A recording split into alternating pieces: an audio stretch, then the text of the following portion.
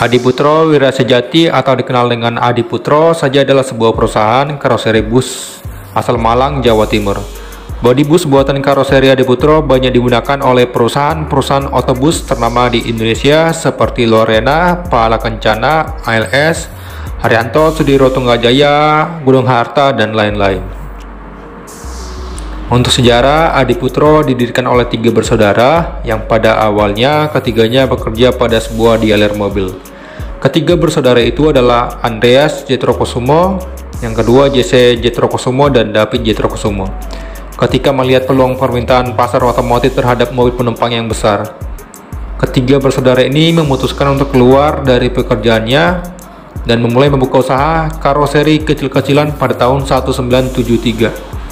Dengan pekerjaan pertamanya adalah memodifikasi dua mobil pickup Colt T120 model menjadi mobil penumpang. Setelah usaha karoseri itu berkembang pesat, ketiga bersaudara ini secara resmi mendirikan perusahaan karoseri dengan nama Adi Putra pada tahun 1975 di Malang, Jawa Timur, yang sehingga kini menjadi kantor pusatnya. Berikut adalah beberapa model dan varian body bus yang pernah diproduksi oleh Adi Putro. Body bus yang beredar di Indonesia dibuat dari perusahaan karoseri. Salah satu karoseri terbesar di Indonesia yaitu Adiputro asal Malang. Nama bodi unggulan milik Adiputro yaitu Jetbus. Jetbus sendiri merupakan singkatan dari Jetro Kusumo Bus alias bus buatan Jetro Kusumo. Nama keluarga pemilik karoseri Adiputro. Body Jet ini pertama kali hadir pada ya? tahun 2011 dan sekarang sudah sampai ke generasi ketiga Jet Bus 3 Plus. Jika dibandingkan dengan body bus besar dari karoseri lain, populasi jet bus lebih banyak di jalanan. Body jet bus bisa dibilang menjadi body favorit yang digunakan perusahaan otobus atau PO. Kenapa bisa begitu? Anggota Forum Bismania Indonesia, Dimas Raditya mengatakan ada beberapa alasan yang membuat bodyjet bus buatan Adi Putro ini menjadi favorit PO bus di Indonesia. Pertama yaitu atas nama besar Adi Putro. Kemudian banyak ditiru atau dirombak unit lama dengan yang lebih baru dan model busnya yang aman sehingga mudah diterima oleh orang awam. Karoseri Adiputro memang sudah terkenal akan beberapa busnya. Selain itu, kualitas bus buatannya juga terbilang baik, jadi sudah berpengalaman dalam membuat bus besar sejak tahun 1994. Kemudian, semenjak menamakan busnya dengan Jet Bus mempengaruhi penjualannya. Nama Jet Bus sendiri memang menjual. Sejak ada nama Jet Bus, penjualan bus Adiputro juga lumayan naik. Kemudian di faktor yang kedua, Berjet bus yang bekasnya juga masih diamanati.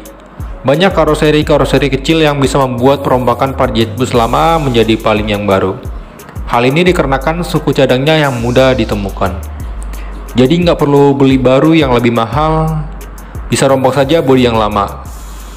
Hal ini juga dikarenakan sejak pertama muncul, body jet bus awal dan yang terakhir tidak begitu banyak ubahannya Ubahan paling hanya model di headlamp dan lampu belakang, kemudian di selenang samping. Untuk body Royal Coach, Royal Coach adalah nama model bus buatan Adi Putro sejak tahun 1990-an.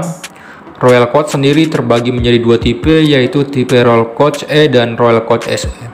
Bedanya adalah ketebalan pada body bus.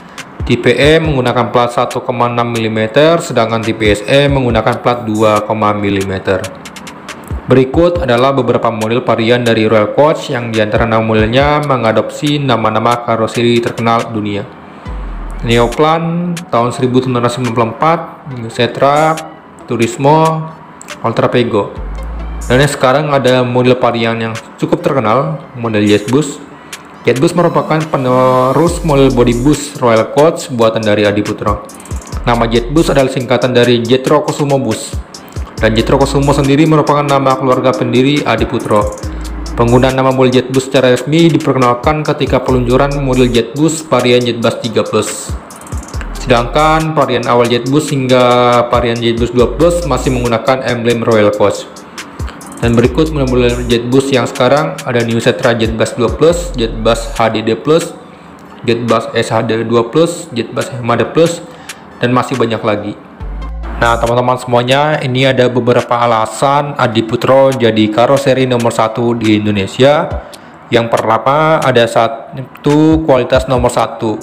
Kualitas dari produk-produk karoseri Adi Putro ini sudah tidak perlu diragukan lagi Karena untuk memproduksinya sudah menggunakan teknologi dan proses engineering yang canggih Beberapa mesin yang digunakan pun memiliki teknologi terbaru seperti mesin CNC agar hasil pengerjanya yang dihasilkan memiliki tingkat kepersisan yang tinggi. Coba kita perhatikan setiap detail dan produk Adi Putro memiliki gap dan potongan yang presisi sehingga hasilnya lebih rapi. Kedua, ada penuh inovasi terbaru. Tim Adi Putro memiliki kemampuan yang didukung oleh perusahaan dengan cara mengirim tim untuk belajar langsung ke Jerman dalam membuat bus dengan inovasi-inovasi mutakhir terbaru. Jadi, apa pun yang dikembangkan oleh Adi Putro sudah memiliki standar internasional dan selalu menggunakan teknologi terbaru dalam mengejar kualitas terbaik. Bahkan, Adi Putro merupakan pembuat bodi bus pertama yang mampu membuat bus dengan sasis monocoque untuk bus Afron. Yang ketiga, ada quality control. Banyak karoseri di Indonesia yang membuat bus dengan model-model terbaru dan bagus. Namun tanpa standar quality control yang baik, maka produk yang dihasilkan pun tidak memenuhi standar. Produk yang dihasilkan harus melalui tahapan uji kualitas. Hal ini adalah produk Adi Putro selalu menjadikan pilihan karena setiap produk yang rilis sudah melalui standar kualitas yang tinggi.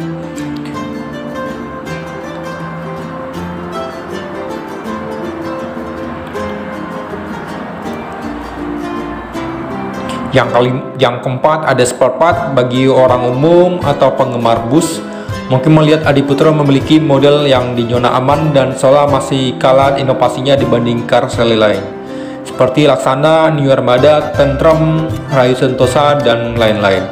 Sebagai contoh dan bentuk bus yang selalu bermain di Mole Setra dan Repago yang notabene line up dari jalur Jerman. Bukan tanpa alasan, Adi Putro dalam mengembangkan molet tidak begitu signifikan dan bentuk lampu dan lainnya. Operator bus untuk dapat mengganti atau meremajakan armadanya membutuhkan waktu kurang lebih 5 tahun agar dapat menentukan kredit dan menambah unitnya. Selama waktu 5 tahun itu, pasti ada komponen atau spare part karoseri yang rusak akibat pemakaian atau juga kecelakaan. Apa jadinya kalau model karoseri terlalu cepat berganti setiap tahun? Maka spare part yang dibutuhkan ketika terjadi kerusakan akan sulit didapat. Nah, dengan penggantian model yang tidak terlalu cepat inilah yang menguntungkan operator bus agar tidak cepat-cepat juga harus menambah unit baru.